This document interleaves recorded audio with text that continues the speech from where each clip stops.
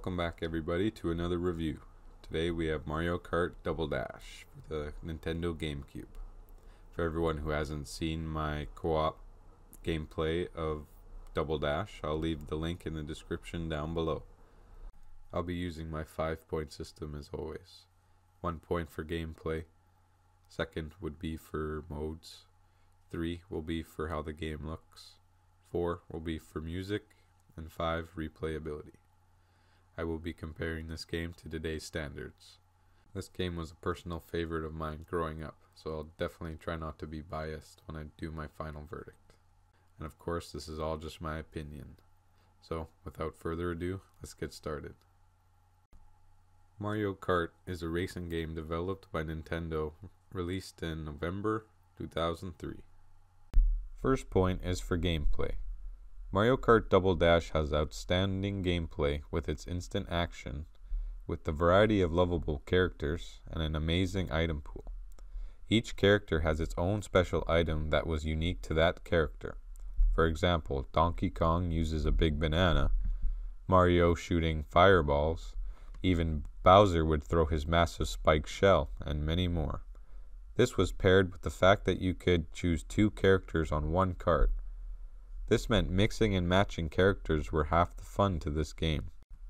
You could have Mario and Luigi pair up, or switch it up and have Mario with Bowser. Crazy, right? There was just seemingly endless choices of character combos that you could do. The game took it a step further though and had each character have its own personal kart. Each kart had different stats from weight, top speed, acceleration, and handling. This meant choosing a smaller character would give you access to all the lighter cars, not just your own. If you choose a big character like Bowser, you'd have to use a big cart. This meant choosing certain characters would grant you access to certain carts.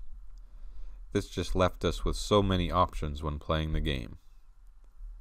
Gameplay is easy to learn with steering with the control stick, holding A for acceleration, X and Y to throw items, R and L to drift. With these buttons and a little practice, you'll be beating your friends in no time. First point has to go to Double Dash for its endless options and character selection and easy to learn gameplay. Second point is for modes. Double Dash has up to 4 player multiplayer on races and even a battle mode with its own unique maps. And of course there's time trial. You could even team up with a friend and both you ride on one cart. This meant playing with friends was even funner as you could have one person drive and the other one throw items. You even have the ability to switch positions during a race. This is extremely fun and very clever by Mario Kart to have thought of such an idea. This was the first and only Mario Kart where you could drive on the same cart together. I think that's why this game was a must have at every gaming party. Battle mode had a few differences as well. There was Shine Thief. In Shine Thief, players must retrieve a shine sprite dropped on the course and keep it in hand until the time runs out. There was also Bomb Bomb Blast, where you would throw only bombs at each other until you reach the target score. And of course, there's Classic Battle Mode, where you have three balloons and throw items at each other until you're the last one standing. Last mode, Time Trial, was an easy way to test your skills against yourself. You would only have three mushrooms through the whole race, trying to beat you or your friend's time. This was good for practicing, for there's no other drivers except you on the road, so it's all yours. Second point has to go to Double Dash for its amazing and creative modes that just wants you keep playing more. Third point is for how the game looks. This game just keeps surprising me. Even after 18 years, this game still looks fantastic. The colors of each map really make you feel like you're there. Even the textures of the characters are just notably just as good as a Mario Kart game nowadays. The graphics of the items are also add so much to the game. Nothing more terrifying than a blue shell coming right for you to ruin your race. Even the boosting in this game makes you feel like you're flying down the track. I literally can't find one bad thing to say about how the game looks.